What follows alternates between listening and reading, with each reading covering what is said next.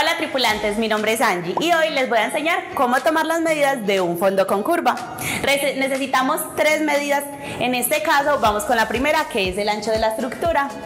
Vamos a tomar de lado a lado las medidas de esta manera. La segunda medida, el alto de la estructura, desde arriba hasta el piso la vamos a tomar para que quede el fondo perfecto. Y una tercera medida que es muy importante para darle la curva a la estructura es desde el piso la tomamos hasta donde empiece a curvear la estructura.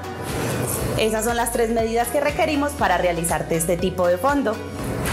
Ahora les voy a enseñar cómo es un fondo con forro, que es el tipo de fondo que se utiliza para esta estructura.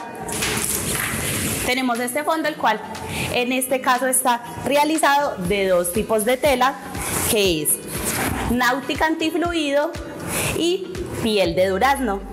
Acá pueden ver cómo son los tipos de tela. Recuerden que la náutica antifluido es la que está estampada en este caso. Ahora les voy a mostrar cómo se pone el fondo en este tipo de estructura. Es muy fácil en realidad, simplemente se recoge ya que es tipo funda y es como forrando la estructura. Recuerden que es totalmente personalizado. Esto quiere decir que le pueden poner el diseño que quieran, le pueden, por ejemplo, enviar una foto y nosotros la podemos hacer sin problema. Miren cómo queda de hermoso. Recuerden tripulantes, así queda entonces el fondo con curva. Recuerden seguirnos en nuestras redes sociales, Facebook, Instagram, TikTok y Pinterest y en nuestra página web tusfondos.com. ¡Chao!